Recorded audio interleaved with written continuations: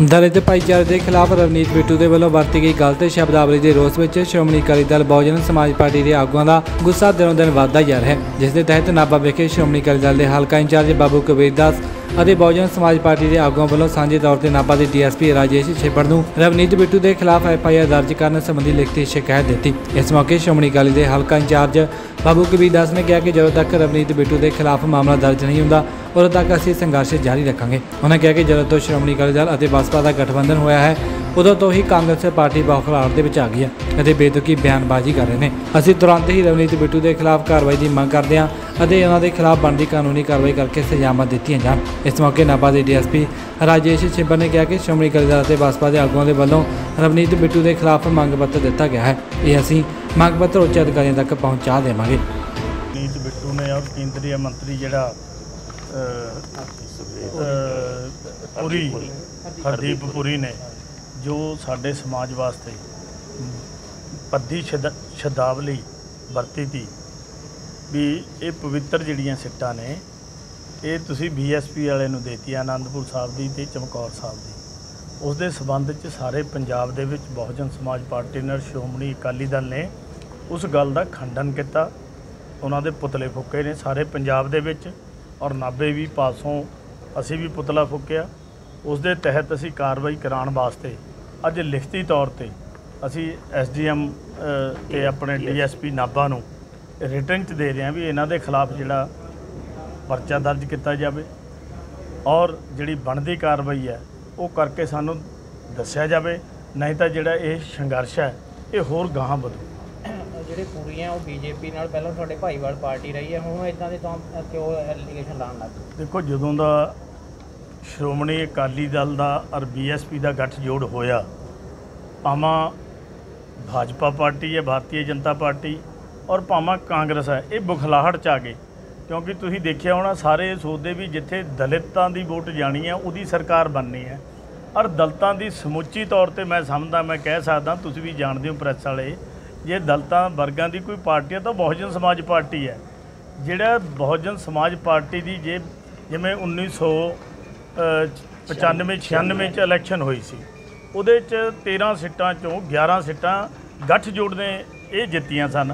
ਔਰ ਇਸੇ ਤਰ੍ਹਾਂ ਹੀ ਜਿਹੜਾ ਇਹ ਇਤਿਹਾਸਿਕ ਗੱਠਜੋੜ ਹੋਇਆ, ਇੱਕ ਸੋਚ ਦਾ ਗੱਠ- ਗੱਠਜੋੜ ਹੈ, ਕਿਉਂਕਿ ਜੋ ਬਾਦਲ ਸਾਹਿਬ ਸੋਚਦੇ ਆ, ਗਰੀਬਾਂ ਦੀ ਆਟਾ ਦਾਲ ਸਕੀਮ ਦੇਣੀ ਹੈ ਗਰੀਬਾਂ ਨੂੰ ਸਾਈਕਲ ਦੇਣੀ ਹੈ, ਗਰੀਬਾਂ ਦੇ ਵਜੀਫੇ ਲਾਉਣੇ ਨੇ 51000 ਜਿਹੜੀ ਸ਼ਗਨ ਸਕੀਮ ਦੇਣੀ ਹੈ।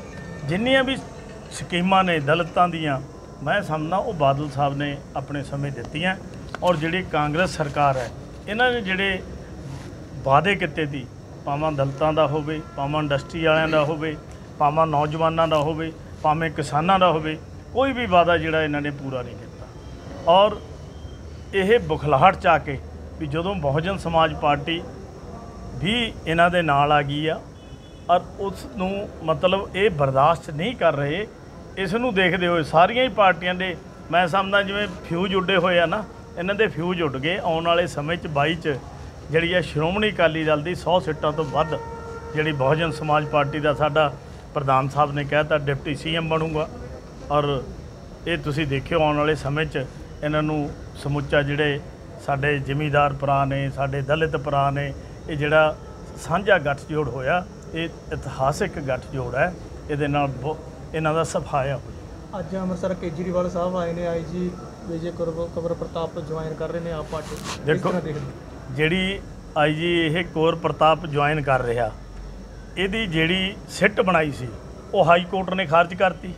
ਅੱਜ ਇਸ ਗੱਲ ਨੂੰ ਦਰਸਾਉਂਦੀ ਹੈ ਵੀ ਜਿਹੜੀ ਇੰਨੀ ਸਿੱਟ ਬਣਾਈ ਸੀ ਬਾਦਲ ਸਾਹਿਬ ਦੇ ਅਗੇਂਸਟ ਟੋਟਲ ਝੂਠੀ ਦੀ ਉਹ ਅੱਜ ਲੋਕਾਂ ਨੂੰ ਇਹਨਾਂ ਨੇ ਇੱਥੇ ਜੁਆਇਨ ਕਰਕੇ ਸਰਟੀਫਿਕੇਟ ਦੇਤਾ। ਸੋ ਇਸ ਕਰਕੇ ਜਿਹੜੇ ਮਰਜ਼ੀ ਉਪਰਾਲੇ ਇਹ ਕਰੀ ਜਾਣ, ਇਸ ਟਾਈਮ ਸ਼੍ਰੋਮਣੀ ਅਕਾਲੀ ਦਲ ਦੀ ਜੋ ਪੰਜਾਬ ਦੇ ਪ੍ਰਤੀ, ਕਿਸਾਨਾਂ ਦੇ ਪ੍ਰਤੀ, ਦਲਤਾਂ ਦੇ ਪ੍ਰਤੀ ਜੋ ਬਾਦਲ ਸਾਹਿਬ ਦੀ ਸੋਚ ਹੈ, ਕਿਸੇ ਹੋਰ ਲੀਡਰ ਦੀ ਹੋ ਨਹੀਂ ਸਕਦੀ। ਕੇਜਰੀਵਾਲ ਸਾਹਿਬ ਪੰਜਾਬ 'ਚ ਹੋਰ ਗੱਲ ਕਰਦੇ ਆ। ਆ ਹਰਿਆਣੇ 'ਚ ਵੜ ਜੋ ਹੋਰ ਕਰਦੇ ਆ, ਦਿੱਲੀ 'ਚ ਵੜ ਜੋ ਹੋਰ ਕਰਦੇ ਆ।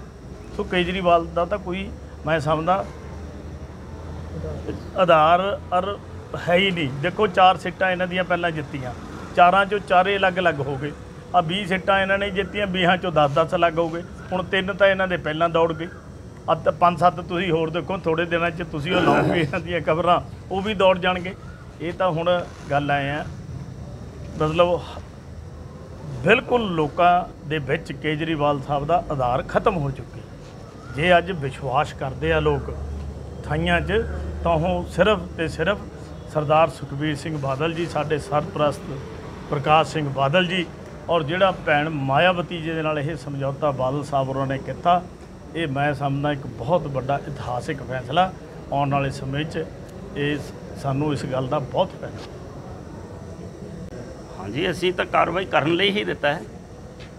ਮੈਂ ਜਿਹੜਾ ਸ਼ਿਕਾਇਤ ਅਸੀਂ ਦਰਜ ਕਰਵਾਈ ਹੈ, ਇਹ ਸਾਰੇ ਪੰਜਾਬ ਦੇ ਵਿੱਚ ਡੀਐਸਪੀ ਜਿਹਨੂੰ ਅਸੀਂ ਜਿਹੜਾ ਸ਼ਿਕਾਇਤ, ਮੈਮੋ ਨਹੀਂ ਕਹਿ ਸਕਦੇ, ਸ਼ਿਕਾਇਤ ਦਰਜ ਕਰਾਈ ਹੈ ਕਿ ਜਿਨ੍ਹਾਂ ਨੇ ਰਵਨੀਤ ਬਿੱਟੂ ਨੇ ਤੇ ਸੁਖਦੇਵ ਸਿੰਘ ਢੀਂਡਸਾ ਜੀ ਨੇ ਤੇ ਹਰਦੀਪ ਪੁਰੀ ਜੀ ਨੇ ਭਾਜਪਾ ਦੇ ਵਿੱਚੋਂ, ਜੋ ਸ਼ਬਦਾਵਲੀ ਇਹਨਾਂ ਦਲਿਤ ਲੋਕਾਂ ਪ੍ਰਤੀ ਮਤਲਬ ਉਹਨਾਂ ਨੇ ਵਰਤੀ ਹੈ ਤੇ ਅਸੀਂ ਉਸ ਦੇ ਖਿਲਾਫ ਅਸੀਂ ਕਹਿੰਦੇ ਆ ਕਿ ਇਹਨਾਂ ਦੇ ਐਟਰੋਸਿਟੀ ਐਕਟ ਲੱਗਣਾ ਚਾਹੀਦਾ ਤੇ ਇਹਨਾਂ ਤੇ ਬਣਦੀ ਕਾਰਵਾਈ ਹੈ ਜਿਹੜੀ ਉਹ ਹੋ ਕੇ ਮਤਲਬ ਉਹਨਾਂ ਨੂੰ ਜੋ ਸਜ਼ਾ ਮਿਲਣੀ ਚਾਹੀਦੀ ਆ, ਕਿਉਂਕਿ ਇਹ ਜੋ ਗੱਲਾਂ ਕਰ ਰਹੇ ਨੇ, ਸਾਰੀਆਂ ਹੀ ਪਾਰਟੀਆਂ ਕਰ ਰਹੇ ਕਿਉਂ ਕਿਉਂ ਕਰ ਰਹੀਆਂ ਨੇ? ਕਿਉਂਕਿ ਇਸ ਗੱਠਜੋੜ ਤੋਂ ਭਾ- ਮਤਲਬ ਬਹੁਜਨ ਸਮਾਜ ਪਾਰਟੀ ਅਤੇ ਸ਼੍ਰੋਮਣੀ ਅਕਾਲੀ ਦਲ ਦੇ ਗੱਠਜੋੜ ਤੋਂ ਇਹ ਬਖਲਾਟ ਵਿੱਚ ਆ ਗਿਆ ਔਰ ਆਪਣੀ ਜਿਹੜੀ ਗੰਦੀ ਸੋਚ ਹੈ ਉਸ ਨੂੰ ਬਾਹਰ ਕੱਢ ਰਹੇ ਆ।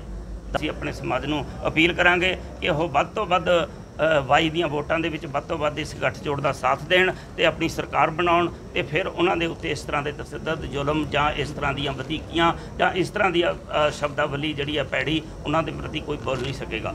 ਲੱਗਦਾ ਕੈਪਟਨ ਕੀ ਕਰਨ ਦੇਊਗਾ? ਮਾਮਲਾ ਦਰਜ ਹੋਣ ਵੀ ਦੇਣਾ। ਤੁਹਾਨੂੰ ਕੀ ਲੱਗਦਾ? ਦੇਖੋ ਅਸੀਂ ਤਾਂ ਇਹ ਮੰਨ ਕੇ ਚੱਲੇ ਹਾਂ ਵੀ ਇਹ ਇਹ ਕਾਰਵਾਈ ਹੋਣੀ ਚਾਹੀਦੀ ਆ। ਇਹਨਾਂ ਤੇ ਮਤਲਬ ਪਰਚੇ ਦਰਜ ਅਸੀਂ ਕਰਵਾ ਰਹੇ ਹਾਂ। ਜੇ ਨਹੀਂ ਕਰਨਗੇ ਤਾਂ ਉਸ ਤੋਂ ਬਾਅਦ ਅਸੀਂ ਸੋਚਾਂਗੇ ਕੋਈ ਹੋਰ ਵੱਡਾ ਐਕਸ਼ਨ ਲਵਾਂਗੇ। ਸ਼੍ਰੋਮਣੀ ਅਕਾਲੀ ਦਲ ਦੇ ਬਹੁਜਨ ਸਮਾਜ ਪਾਰਟੀ ਨੇ ਕਿਸ ਦੇ ਸਬੰਧ ਵਿੱਚ ਮੰਗ ਪੱਤਰ ਦਿੱਤਾ? ਇਹਨਾਂ ਨੇ ਜੀ ਰਵਨੀਤ ਬਿੱਟੂ ਮੈਂਬਰ ਪਾਰਲੀਮੈਂਟ ਦੇ ਖਿਲਾਫ ਮੰਗ ਪੱਤਰ ਦਿੱਤਾ ਹੈਗਾ। ਜੋ ਉਹਨਾਂ ਦਾ ਮੰਗ ਪੱਤਰ ਲੈਣ ਤੋਂ ਬਾਅਦ ਅਸੀਂ ਹਾਇਰ ਅਥਾਰਟੀ ਨੂੰ ਭੇਜ ਦਾਂਗੇ ਜੋ ਬਣਦੀ ਕਾਰਵਾਈ ਉਹ ਕੀਤੀ ਜਾਏਗੀ। ਆਵਾਜ਼ੇ ਕਮ ਟੀਵੀ ਲਈ ਨਾਭਾ ਤੋਂ ਪੱਤਰਕਾਰ ਦੌਰਾਨ ਮਹਿਤਾ ਦੀ ਰਿਪੋਰਟ।